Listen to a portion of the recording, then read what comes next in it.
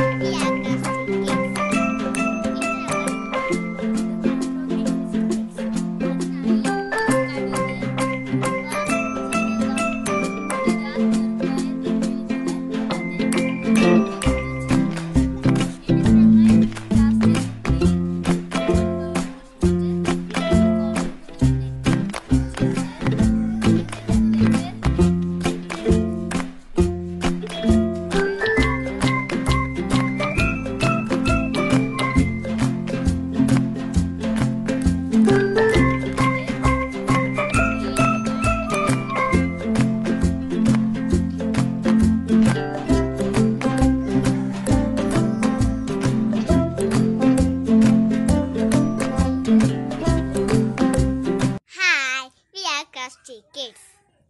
ഇന്ന് ഞങ്ങൾ ഉണ്ടാക്കാൻ പോകുന്നത് മൈക്രോ ഗ്രീൻ വെജിറ്റബിൾസ് അതിനായി കടുക് ഉലുവ ജീരകം മുതിര ചെറുപയർ എന്നീ വിത്തുകൾ വെള്ളത്തിൽ കുതിർത്ത് വെച്ചിട്ടുണ്ട്.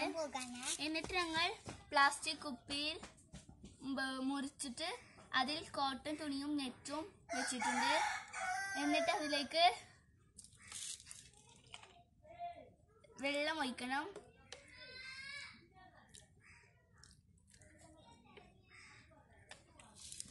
വെള്ളം ഒഴിച്ചിട്ട് ഈ എത്തുകൾ അതിലേക്ക് ഇടുക.